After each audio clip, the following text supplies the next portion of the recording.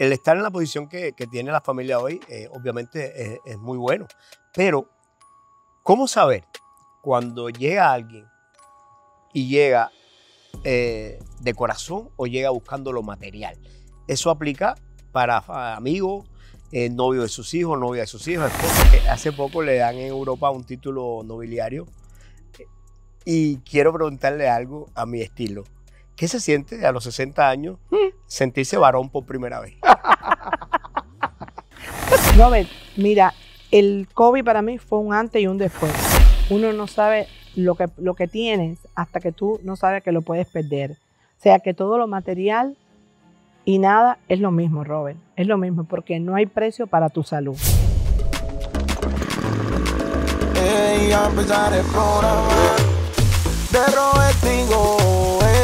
Se pone bueno, se pone ringo. Buenas noches, buenas noches, buenas noches. Esto de tener invitados en el patio es ameno, es divertido, es interesante, pero en el día de hoy mis invitados van mucho más allá de eso. Hoy tengo un programa especial porque hoy vamos a aprender cómo hacernos millonarios. Yo quiero que ustedes ahora mismo pongan a grabar este programa porque gracias a mis invitados, si Dios quiere, de aquí a unos años, usted y yo nos vamos a volver millonarios. Qué placer tener hoy en el patio de Robertico a Tati y a Pedro Grivitey. Buenas noches, buenas, noches, buenas noches. Eh, no sé si la presentación, no sé si la presentación e, e, era la, la, más conveniente, pero para qué los voy a engañar. Si yo vengo a hablar con Pedro y Tati y Grivitey, todo el mundo va a estar pendiente al tema del dinero. Aparte de que la familia es una familia más que reconocida, más que unida y más eh, exitosa de las que tenemos aquí eh, en esta ciudad de Miami, pero eh, al pan pan y al vino vino. Por eso vamos a empezar hablando de una cosa y ahí nos vamos a ir brincando para otra y para otra y para otra. Yo quiero decir algo. No sé si Tati está de acuerdo conmigo. Yo llevo días, casi meses, buscando información de Pedro en las redes. Pedro es un fantasma. Total. Pero de Tati, hoy en las redes hay más información que de Bad Bunny. Yo quiero que me diga, Tati, ¿por qué pasa eso? Bueno, eh, eso se lo debo gracias a mi hija, porque ella eh, lanza su canal de YouTube y ella se volvió en aquel momento, wow, un boom. Mira lo que pasa, Robert. Camila llega a ser eh, llegó a ser la primera latina, o sea, de habla hispana, que empieza a hablar de lujos, de lujo, de cosas extravagantes y todo. Es la primera. Eso tú lo ves mucho en la parte americano, en inglés, en los chinos, Singapur, pero hispano, todo el mundo con ese tema es más recatado en el sentido, porque por supuesto en México hay millones de millonarios, pero con el tema de que los secuestren y todo, nadie muestra. Y así mismo en toda América Latina. Y aquí en Estados Unidos, que también existe, son más privados, son más low profile, así como mi esposo.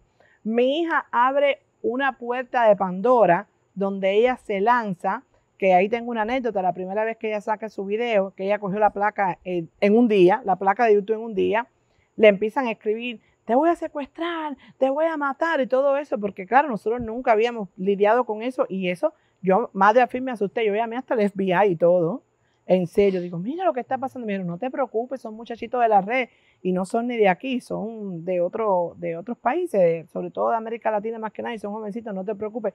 Incluso hasta Sandra Sire me dijo, no te preocupes, Tati, son normales, son qué opinas. Pero bueno, nosotros por supuesto nos asustamos, tomamos todas las medidas y ahí ella sale. Cuando ella sale, yo empiezo a salir en los videos de ella y empiezan a pedirme Mami Lover, me pusieron el nombre y todo ello. Ellos mismos se pusieron Cami Lover y a mí me pusieron Mami Lover. Ese nombre me lo dio los seguidores, eso ni me lo busqué yo. Y ellos empiezan a pedirme que yo empiece a abrir mi canal, que empiece a salir. Y yo dije, bueno, yo no voy a competir con mi hija en lo que es fashion, porque no es mi estilo. Y segundo, no se ve bien tampoco. Voy, yo ellos me ven como una madre, como alguien que le va a dar consejos. Déjame irme por la parte de los consejos. Cuando yo me voy por ese lado, es cuando empiezo a ver todo el feedback que tengo ahora de todos los problemas de las personas y que todo el mundo me ve como eso, como en alguien que pueden ver a alguien que pueden pedirle ayuda, consejo. Y bueno, creo que me he vuelto una celebridad con eso porque ven en mí lo que a lo mejor no lo tienen en su familia, en sus padres. Ellas me dicen a mí, Yo hablo mejor contigo que con mi mamá, que con mi familia, que con mi papá. Yo me siento mejor hablando contigo que con mis maestros o con mi esposo. Y ven en mí alguien que los pueda ayudar y yo aquí estoy para todos ellos. Yo, eh, como siempre digo, siempre hay alguien que nos ve por primera vez. A usted, a mí, a Pedro, ni, ni decir. Nadie nadie. Entonces, ¿qué vamos a hacer? Vamos a poner un pedacito de ese video para que la gente sepa de lo que estamos hablando. Mira para allá. Está por acá es un Bentley Bentayga y es el carro de mami. Ya que la tenemos por aquí, ven mamá. Hola YouTube, el mundo de Camila. Lo más cool de este carro, que es lo que más me gusta a mí, es que trae unas copitas incluidas. Vamos a brindar, mamá. ¿Y dónde está el champán? Está aquí, pero no hay. Y una vez que está abierta la botella de champán, la podemos colocar aquí. Para la próxima brindamos con champán. Lo que a mí me gusta de mi carro es que tengo para trabajar mientras me van manejando y entonces tengo mi tableta aquí. Podemos así trabajar, navegar, entrar al canal de YouTube de Camila, muy importante. Y ya se me descargó la batería viendo los videos de Camila. Cuando ella encienda le pondré un video de ella en la próxima vez. Y algo que sí deben saber es que de este tipo de Inventar Moon solamente hay 5 en Estados Unidos. Y uno es mío. Para llegar al hoy hay que hablar del pasado. Yo tengo que preguntarle eh, de qué parte de Cuba viene, a qué se dedicaban en Cuba y desde cuándo están aquí en Estados Unidos.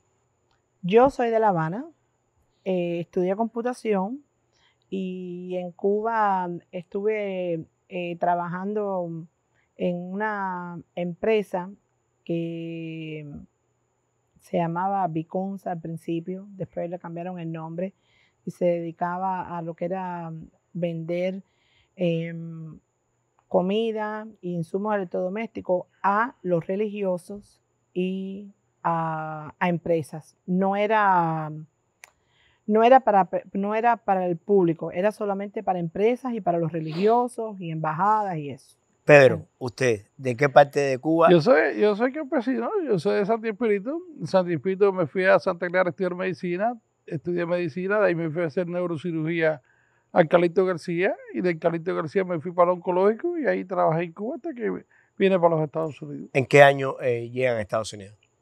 En los principios de los 90. Es decir, que eh, relativamente no hace tanto tiempo.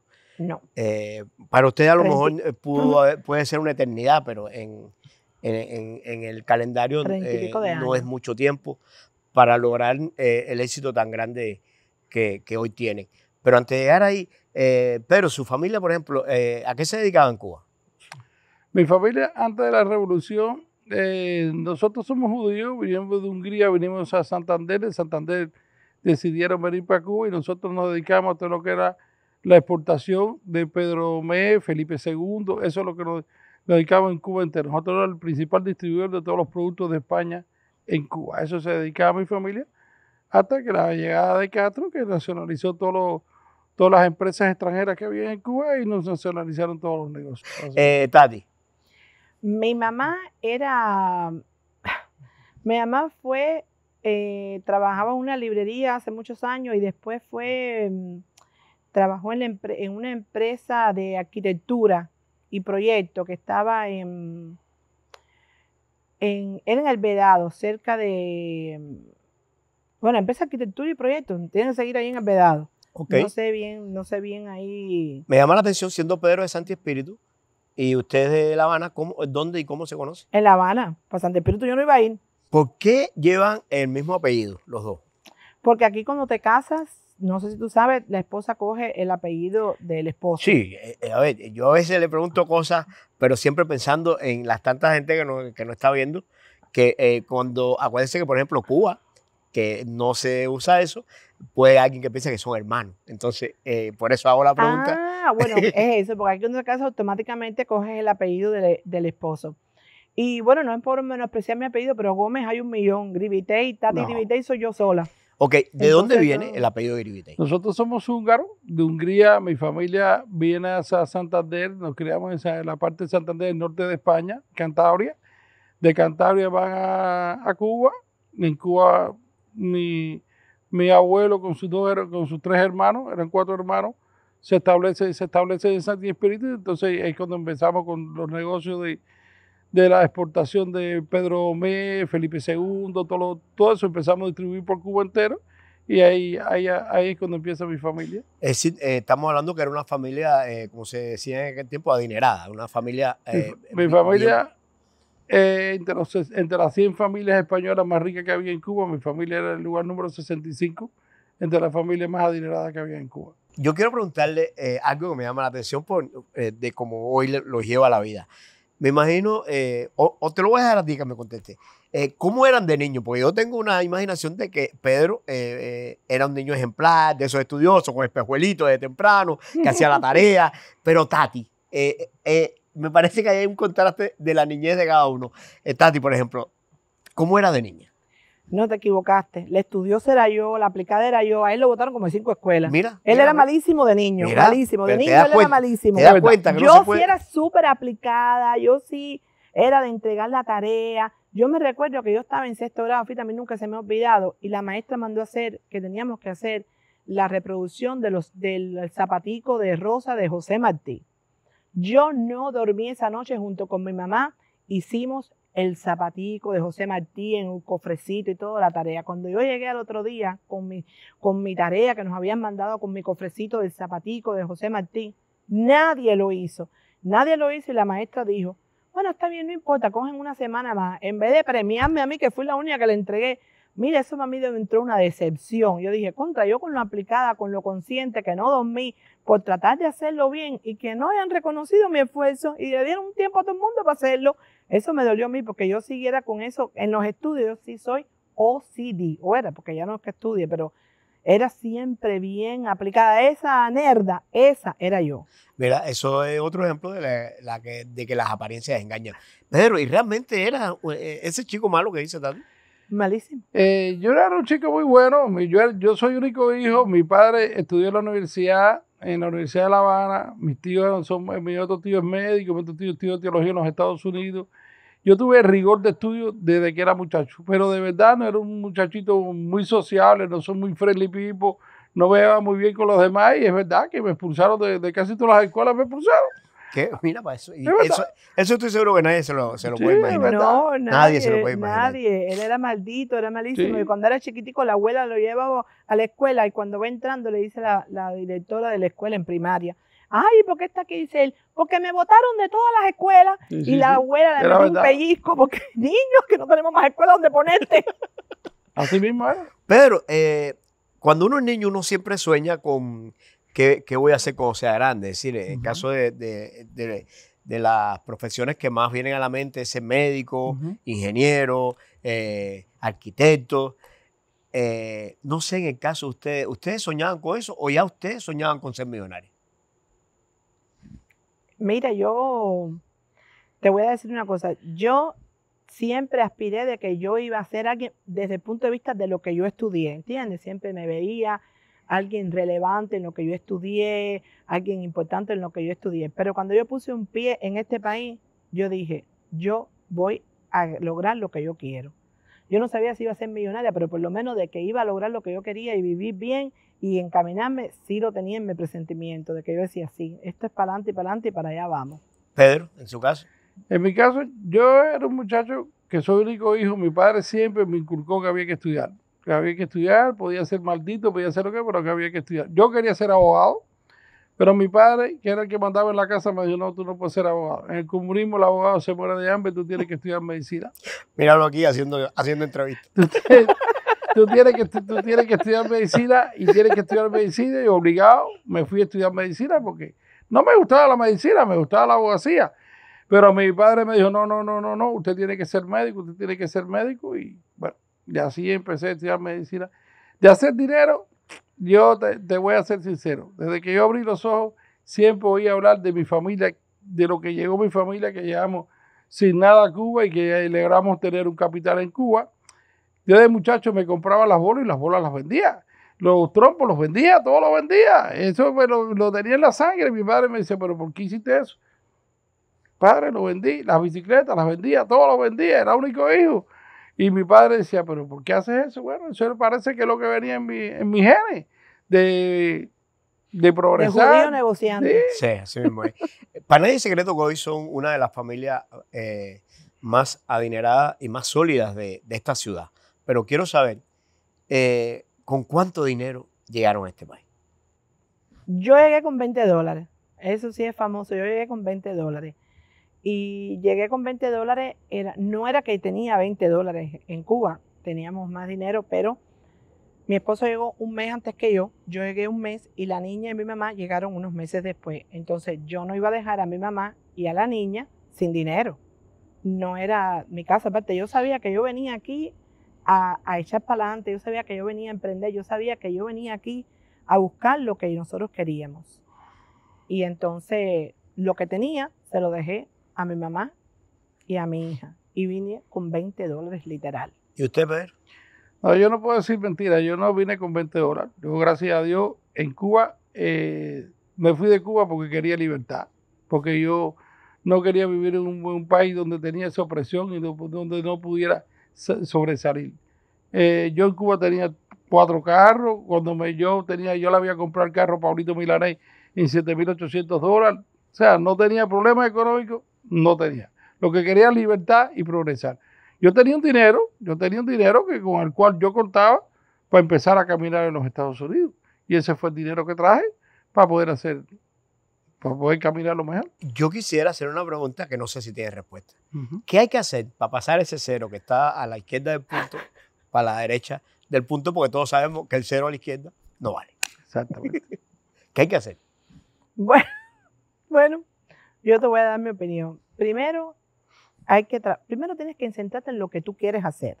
Eso es muy importante, por dónde tú quieres ser, en qué tú eres bueno, en qué tú puedes destacar, en qué tú eres la diferencia con la otra persona. Segundo, aparte del talento, tienes que tener la perseverancia. Yo soy una persona muy perseverante, Robert. Yo soy una persona que si yo digo, yo voy a hacer esto, yo lo voy a hacer, yo lo voy a hacer, yo por ahí lo voy a lograr. Yo soy muy disciplina, muy disciplinada en, mi en lo que yo quiero proponerme. Yo soy muy disciplinada. Y eso creo que fue un poco el éxito de nosotros dos.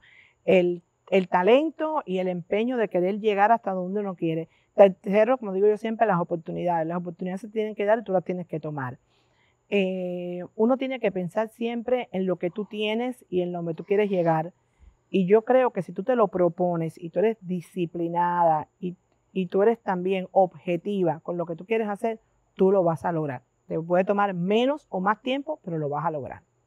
Pedro, Mira, yo tuve una suerte divina. Mi suerte es mi esposa. Mi esposa es una persona sumamente inteligente. Yo digo que en mi familia el menos inteligente soy yo. Mi mujer es mucho más inteligente que yo. Ay, lo vine Mi- a reconocer ahora, mi- después de tantos años. Eh, mi mujer es una persona que, como dice, que dice, vamos, vamos y vamos. Nosotros durante más de veintipico años lo único que hicimos fue trabajar, trabajar, trabajar y el dinero invertir. El dinero invertir. No te puedo hablar de vida nocturna en Miami y de eso, todo el dinero lo que hicimos fue invertir. Yo le decía a mi esposa que yo no me conformaba con la fruta, yo tenía que ser el dueño del árbol. El que yo quería tener el árbol que fuera mío y, y tener la fruta. Yo empecé, que me consiguió el trabajo, por cierto, por primera vez. El primer trabajo que tuve en este país fue de asistente de, de una clínica de cirugía plástica de unos judíos. Ahí me llevé muy bien con esos judíos y yo al cabo de los seis meses era el dueño de la oficina, los judíos trabajaban para mí. Y de ahí empezamos para adelante y para adelante y para adelante y todo el dinero que ganamos y todo el dinero que eso lo invertimos. Lo invertimos, lo invertimos, lo invertimos y ese es el resultado que tenemos hoy. el estar en la posición que, que tiene la familia hoy, eh, obviamente es, muy bueno. Pero, ¿cómo saber cuando llega alguien y llega eh, de corazón o llega buscando lo material? Eso aplica para fa- amigos, eh, novio de sus hijos, novia de sus hijos, esposa. ¿Cómo, ¿Cómo saber si esa persona que llega a su vida hoy llega eh, buscando eh, a la familia Gribitey o llega buscando la fortuna de la familia Gribitey? Bueno, Robert, en primer lugar, mi esposo no es, como él mismo te dice, él no es friendly No. people. So, poder llegar hasta bien cerca cuesta trabajo, hay que pasar varias barreras, porque él no se abre con la persona. Aquí la que más abierta y más soy yo, pero igual, una cosa es yo ser eh, friendly con todo el mundo y otra cosa es darle acceso a mi vida íntima, privada, a mi familia, a todo el mundo. Con eso nosotros tenemos cierta distancia. Eh, no por nada, sino porque yo respeto la privacidad de mi esposo y yo, aunque me guste siempre compartir y me gusta a lo mejor estar rodeada de personas, no es el caso de él. Y nosotros somos una pareja. So, tenemos que los dos compenetrar lo que le gusta a él, lo que le gusta a él, tenemos que tener un equilibrio. Y yo he respetado eso siempre. Mi esposo no le gusta la, mucha gente, a mi esposo no le gusta la casa llena de gente, eso no le gusta a él y yo lo he sabido respetar. Por tanto, yo, yo he tenido siempre ese detalle de no darle entrada a todo el mundo. Sí me llevo bien con todo el mundo, sí soy amable con todo el mundo, para todo el mundo tengo una sonrisa, un abrazo, un cariño, pero ya de darle entrada íntima hasta la casa ya es otra cosa. En el caso de los novios, por supuesto, siempre. A mí me dio una gracia cuando Camila se hace novio de Juan Carlito, nosotros hasta lo mandamos a investigar y todo. No te creo. claro, por supuesto, lo mandamos a investigar y todo. por supuesto. Y tú sabes que yo me alegro tanto, tanto, tanto. No quisiera otro yerno que el esposo de mi hija. Lo mejor, lo mejor que ha pasado, lo mejor que ella tiene. Yo le digo a ella, si te divorcias, no sé lo que vas a hacer porque se queda aquí viviendo. Voy a aprovechar para mandarle un ya eh, oficialmente una invitación eh, a Camila y a su esposo porque eh, es otro programa que quiero hacer en cuanto ella, bueno, sabemos que está embarazada y que en cuanto se sienta lista, Camila, la invitación está hecha y, quiero conocer también a tu esposo. volviendo al tema de, de farándula, por llamarla de alguna manera. Eh, a Tati todo el mundo la conoce como la Mami Lover. Ya dijiste ahorita quién te lo había puesto. Pero a Pedro, ¿cómo se le conoce? En, por lo menos en el ambiente familiar. En la farándula como el Papi Lover, ya todo el mundo lo ha bautizado así. ¿También? Sí. Ah, mira, pero mira, de Papi Lover como tal tampoco hay nada en no, la No, no, pero así le llaman. Ah, mira, eso yo no lo sabía. Me da una gracia porque él se encuentra con personas en la calle. Me da una gracia porque dice, él estaba comentando casualmente con mi yerno, con su yerno y con Rafa, que es el, asistente de nosotros, que lo queremos como si fuera otro hijo. Y mi esposo, ahí está, atrás de cámara. Y mi esposo le dice, no, yo estoy yo que no puedo ni meter una línea ni nada, porque donde quiera que llegue me conocen. Llegué a un lugar y me dijeron, ay, el papi Lover. Y yo a dos lados, ay, el esposo de la papi Lover. Dice, yo de verdad que tengo que estar ya de por vida ya, quieto en base. Y más le vale. Pedro, y no, no, se no, eh, no ves en un futuro no lejano como un reality así como los Kardashian, una cosa así, ahora que no sé si lo, lo decir públicamente en los planes que vienen ahora acerca que de, mudarse. Eh, no, no, nunca has pensado como ya en, la tranquilidad del hogar, como... Mira, yo soy una persona que me gusta mucho mi privacidad, vivir tranquilo, eh, como, tú, como tú me ves, no soy una persona muy friendly people, no, como dice Tati, no dejo que entre mucha gente a mi casa. Eh, quien manda en la casa, te soy sincero, es Tati. Tati es la que se encarga de, de, hacer esas relaciones con todo el mundo. A veces me dice, mira, hoy vamos a hacer una entrevista, vamos a hacer una entrevista. De mí no aparece casi nada en internet. No. Eh, pues me dice, vamos a... Todos los meses tiene dos o tres ganas y yo, bueno, la acompaño porque, bueno, que tengo que acompañarla, pero ese no es mi mundo. Mi mundo es estar tranquilo, tener la cabeza fresca, qué voy a invertir, qué voy a recoger, qué está, qué está pasando en la bolsa, qué es lo que me está dando la bolsa, y eso, es mi eh, a propósito de, dejar entrar personas a la casa, agradecerle eh, que me hayan ofrecido su patio hoy, porque el que es observador eh, se dio cuenta, pero siempre hay alguien como, eh, no es que mi casa se parezca a la de usted, pero como el fondo a veces lo ponemos un poquito medio desfocado, eh, agradecer que estemos grabando hoy aquí en el patio de, esta bonita casa. Tati, veo que tiene más de 200 mil seguidores en Instagram.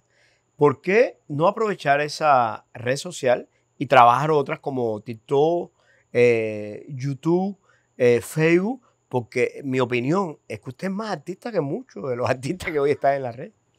Ay, Dios mío, mira, Robert, aunque tú no lo creas, yo no tengo mucho tiempo. Te voy a explicar por qué. Eh, yo no voy físicamente a ninguna de las oficinas de nosotros, pero yo trabajo todo desde la computadora. Primero porque lo que estudié fue computación y segunda porque me siento más cómodo trabajando desde mi casa. Y yo desde por la mañana tengo que empezar a chequear todos los emails, chequear todas las inversiones, chequear todas las correspondencias, encargarme de, de responder todo lo que me dicen, encargarme de todas las, propiedades que nosotros tenemos, ver lo que tenemos, eh, revisar si tengo algunas entradas de, de, clientes Airbnb, que eso también me encargo yo. Algunas, las, las casas de Airbnb que tenemos aquí en Miami sí me lo atiende una compañía, pero las que tengo fuera de Miami las atiendo yo personalmente. O sea, las que tengo fuera de Estados Unidos, mejor dicho, las atiendo yo personalmente. Y entonces, de eso quisiera yo darle, ¿por qué? Porque mis empleados, por ejemplo, en Dominicana no hablan inglés. Entonces, yo soy la que tengo que dar esa respuesta y escribirle y todo. Y yo tengo el día entero bien, bien ocupado. Y, y, para dedicarle realmente, para hacer un trabajo mal, por eso no lo he querido hacer. TikTok, te voy a ser honesto, no lo entiendo. Está muy guay, está muy guay. No lo entiendo. Entonces, como TikTok no lo entiendo, yo lo mismo que pongo en Instagram lo posteo para TikTok. Para así esa interacción no, no, no lo tengo porque no lo entiendo. Facebook es algo cómico porque Facebook es de mi generación. Cuando surgió Facebook, mi hija era chiquita, no lo conocía, yo estaba en Facebook. Después que mi hija creció, que ella no decía que Facebook era para viejo, entonces me metió en Instagram y ahora Facebook ha cambiado y no un poco entiendo Facebook mucho. Estoy ahí que no entiendo. Instagram, como los tengo a todos ellos, que son los que manejan y son los que me han ayudado, ya lo entiendo mejor.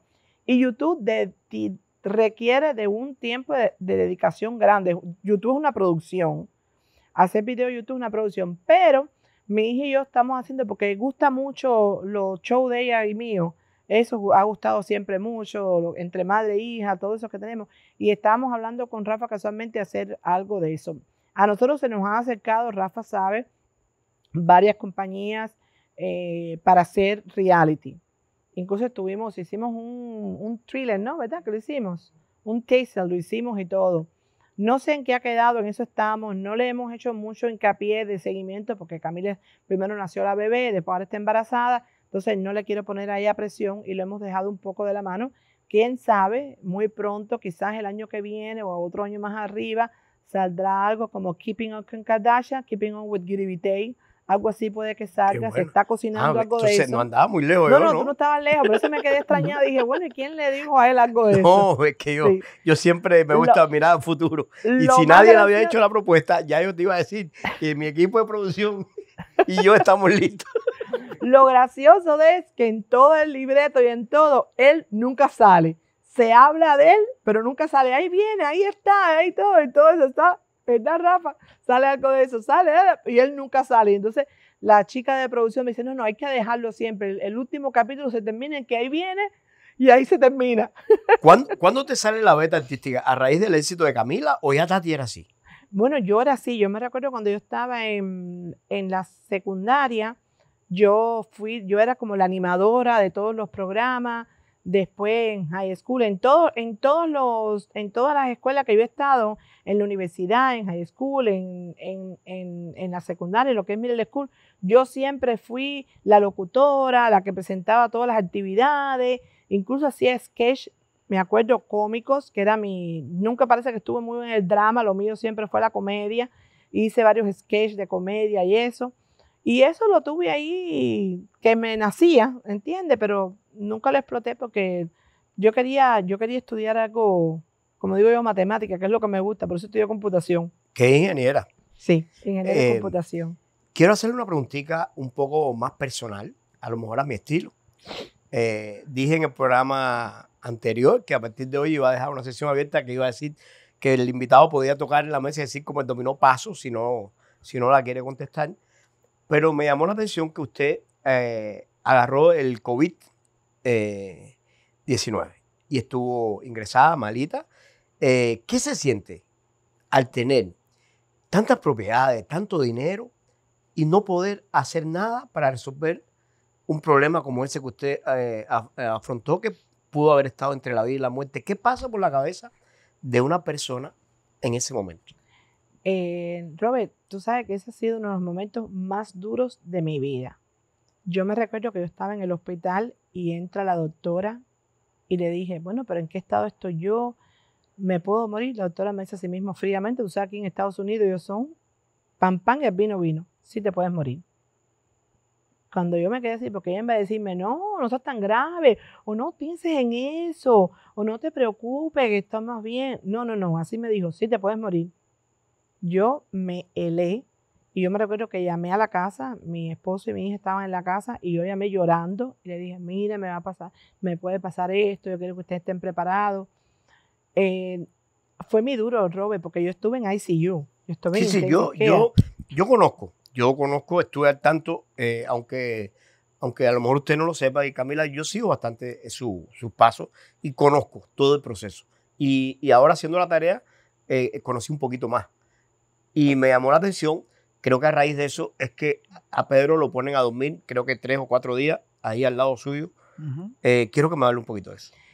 Eh, yo cojo COVID porque mi mamá se enferma. Mi mamá, como tiene sus em, empleadas que salen y la cuidan, están 24 horas, una de ellas, imagínate, eso está imprevisto, se enferma, se lo enferma a mi mamá, pero como mi mamá no sale de la casa, yo jamás pienso que mi mamá va a tener COVID.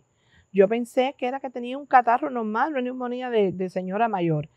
Y lo detectamos porque ella deja de comer, porque mi mamá tiene un buen comer, con sus 93 años, Dios me la bendiga, ella come perfecto. Y cuando deja de comer, me alarmé, tenía tos seca, y mi esposo dice, no, eso debe ser de estar acostada, párenla.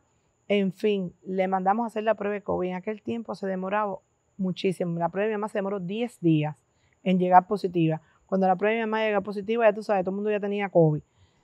Cuando mi mamá llega positiva, yo voy al hospital, me dicen, sí, tienes COVID, me dejan ingresada, me hacen la placa, me hacen el CT scan, tenía el pulmón, yo soy asmática, tenía el pulmón cogido también, me ingresan al momento. Mi esposo dio negativo en ese momento, se va para la casa, después lo coge y después a él me lo traen y nos ponen a los dos en el mismo cuarto. Cuando él llega, primero cuando me dicen que mi esposo tiene, yo empecé a llorar, estaba en ICU, yo estaba llorando y la muchacha me dice, no puedes, no puedes, no puedes estar llorando, no puedes estar llorando, porque yo dije, ay Dios mío, mi esposo se va a complicar y yo preocupadísima. Me dice, no te preocupes, no te preocupes, que todo va a estar bien. Cuando él llegó, él estuvo, él estaba mejor que yo. Eh, él llegó y estuvo, creo que cuatro o cinco días. Yo estuve 15 días, pero él estuvo poco tiempo. Pero, Robert, mira, el COVID para mí fue un antes y un después. Yo dejé de trabajar en la oficina por el COVID. Y hoy por hoy yo me dedico mucho a mi salud. Uno no sabe lo que, lo que tienes hasta que tú no sabes que lo puedes perder. O sea que todo lo material y nada es lo mismo, Robert. Es lo mismo porque no hay precio para tu salud. No hay precio, no existe nada. Yo decía, pero ¿qué yo puedo hacer? ¿Qué yo tengo que pagar? ¿Qué yo puedo inventar? ¿Qué me pueden poner para yo salir de esto? Y no existía, no había nada. Yo lo cogí en julio del 2020, recién, no había ni vacuna ni nada, recién el COVID sale. Por tanto, es cuando tú te das cuenta que tú dices, wow, ahora la vida tiene que cambiar y tú tienes que pensar en otra cosa. ¿En qué? En tu familia, en vivir tu vida diferente, en dedicarte a tu salud y en pensar en que tú puedes estar hoy, pero no puedes estar mañana. Como si fuera el último día. Así mismo. Eso es una enseñanza eh, para todos los que están viendo ahora, eh, porque a veces eh, decirlo de boca hacia afuera es una cosa y vivirlo es otra. Me llama la atención de que hasta en el COVID ustedes estaban junticos y se le ven muy juntos. ¿No se cansan el uno del otro? Hay que hablar. No, chicos, para mí es una bendición de verdad que todas las cosas las llevamos mi esposo y yo. Ven por la construcción, todo el mundo piensa que yo soy el que me dedico a todo lo que es la construcción. Yo no me dedico a la construcción. El que se dedica a la construcción es mi esposa. El que se dedica a todo lo que son renta, propiedades, real estate, todo eso es mi esposa. Yo me dedico solamente a lo que es la parte médica, a mis inversiones en, los hospitales que tengo, los centros quirúrgicos, en las oficinas dentales, en la bolsa de valores, todo lo demás lo lleva mi esposa. Y todos los días conversamos sobre todo eso. Ya yo no trabajo mucho, ya yo trabajo de las 8 de la mañana hasta las 2 de la tarde, de lunes a viernes, ni un día más. Yo, eh, haciendo la tarea, eh, me doy cuenta que Tati, eh, a raíz de la pandemia, casualmente, empieza a dar clases de yoga, a estudiar piano, y, y, tú como que te sumas a todas esas locuras. ¿Existe algún momento donde tú le dices, Tati, para allá? ¿O tú la dejas que llegue hasta donde quiera? Tati tiene una mejor virtud, que es una persona muy perseverante. Ella me dijo, quiero aprender a tocar piano. Toca piano, Tati, ya mira qué edad tú tienes. No, no, yo quiero tocar piano. ¿Tú quieres tocar piano? No hay problema. Yo te compro el piano, te pongo el piano, pero tú tienes que prometerme que tú vas a empezar a dar clase de piano. Dicho, hecho. Todos los días Tati tiene una profesora que viene a darle clase de piano, da clase de piano tres veces a la semana, toca piano todos los días. Perfecto. Hay otra cosa que que conozco buscando información y es que hace poco le dan en Europa un título nobiliario y quiero preguntarle algo a mi estilo. ¿Qué se siente a los 60 años sentirse varón por primera vez? Buena pregunta. Muy buena pregunta. Yo mismo lo tomé por sorpresa cuando mi esposa me dijo, mira, ahí tienes tu título nobiliario de varón. Yo dije, ¿verdad que usted es una mujer perse- perseverante, persistente, que lo logra todo? Ese era su sueño, tener un título nobiliario. Ahí lo tiene. Bueno, eh, la cosa no fue así. Yo recibo una llamada de... Está ubicado en Suiza, en Zurich, en Suiza, que es donde se registran todos los títulos nobiliarios. Y me llama, pero él llama a Tatiana Grivitei.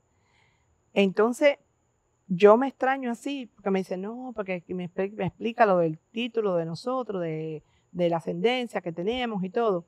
Y después yo me doy cuenta de que en este caso sería por mi esposo, porque yo no soy Grivitei de nacimiento.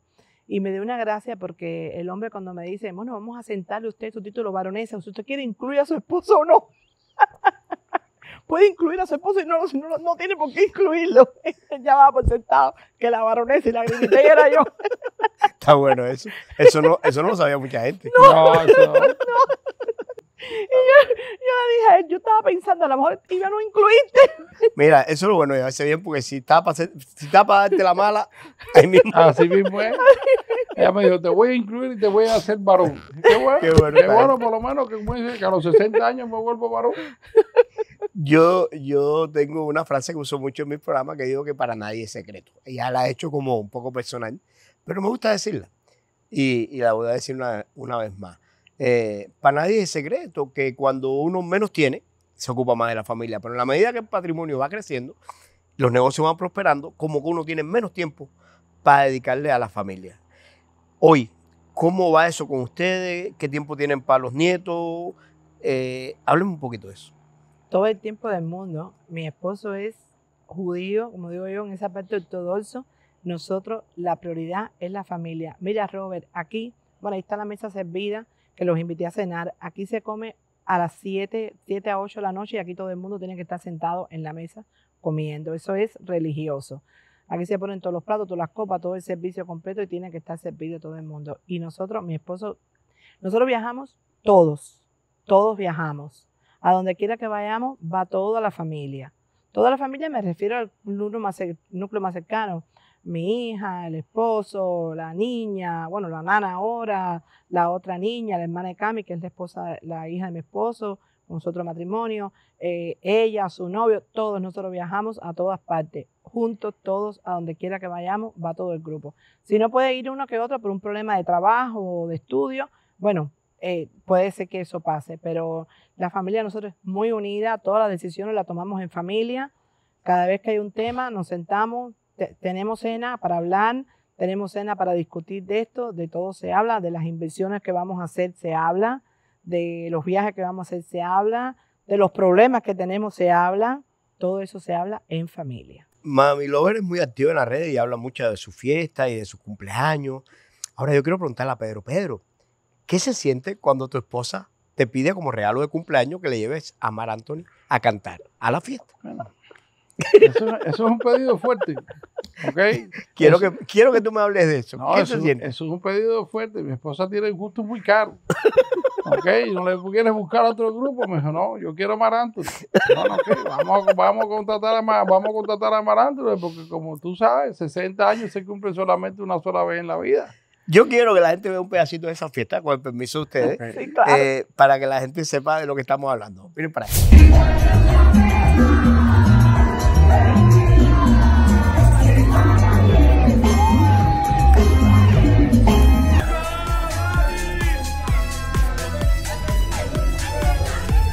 ¿Realmente es un regalo que hace a gusto o te quedas rascando así la cabeza y diciendo, coño?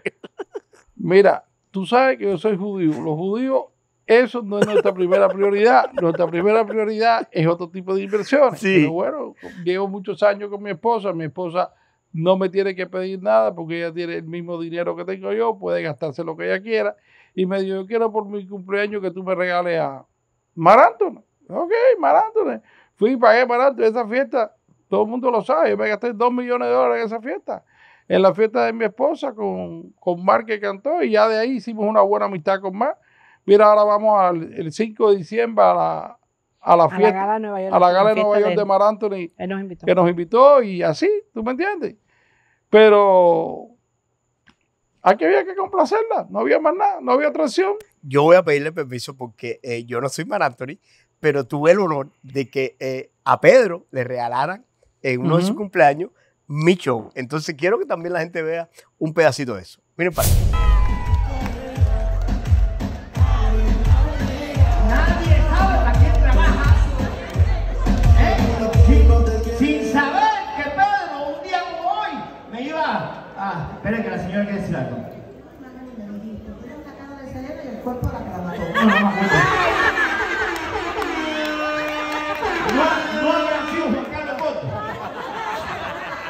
Que yo te dije. Quisiera Selena tener el cuerpo suyo. Mira, Pedro, para mí es un honor que ella te haya pedido Mar Anthony, pero sin embargo, a la tuya ya he ido yo. Fíjate. Claro que yo me sí. siento hoy Mar Anthony, ¿para qué te voy a Claro que sí, hombre.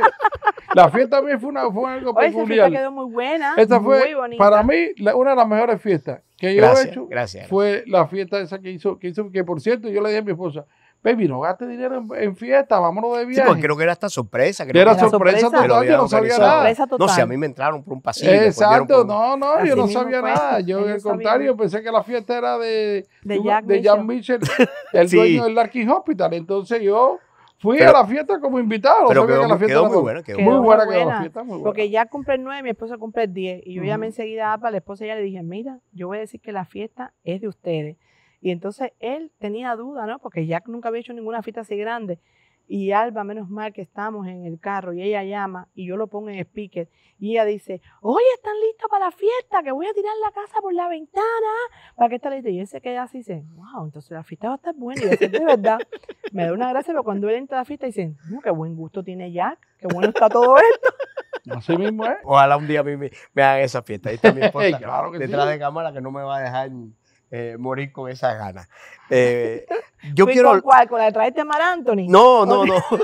Por, lo menos, por lo menos con los adornos que había en, la, en el cumpleaños de Pedro. No, no, Amar Anthony. sorpresa, fue una fiesta sorpresa. Con eso me conformo. Para nadie es secreto, nuevamente, que ustedes tienen negocios y tienen inversiones en, en, en- en- negocios con la salud, es decir, en, en cosas que tienen que ver con la salud en clínica, aparte de que son dueños y eso. Le voy a hacer una pregunta un poco personal. Eh, ¿Alguno de los dos ha pasado por la maquinita? Notamos una, un cierto cambio en ambos y los que lo conocen también lo notan. Y la gente se puede estar preguntando que sí eh, han pasado por la maquinita, piensan pasar por la maquinita o han bajado eh, ambos de peso con otro tratamiento. No, nosotros hemos bajado con la inyección de Monjara, pero yo mucho antes, cuando era delgada, cuando era flaca, cuando era mucho más joven, yo me hice como cuatro liposucciones. Ah, mira, eso ah, es- sí, sí, qué en el bueno. 97, en el 98, en el 2000, yo me hice como cuatro liposucciones cuando no las necesitaba. Pedro, En aquel tiempo me las hice. No, mi no. no. se ha hecho nada. Yo nada, yo lo que me inyectaba Monjara porque como yo soy diabético y que la única forma de controlarme A1C y controlar todo, eh, me empecé, ya estaba, estaba demasiado sobrepeso, empecé a inyectarme Mon- Monjara y me ha ido muy bien, ha bajado 67 libras, mi A1C bajó de 6.9 a 5.4 y yo estoy, yo estoy feliz, yo estoy feliz. y, y muy saludable. muy Sí, gracias a. Dios. Muy saludable. nosotros Sí. queremos seguir ahí, seguimos ahí poquito a poquito, pasito a pasito, para seguir bajando. Yo siempre digo lo mismo. eh, quisiera, yo puedo estar hablando con ustedes toda una noche. Hay muchas cosas que hablar, pero las redes no perdonan el tiempo y, y mantener ya atrapado 45 minutos, una hora Sí, a las personas en las redes ya, ya es un logro.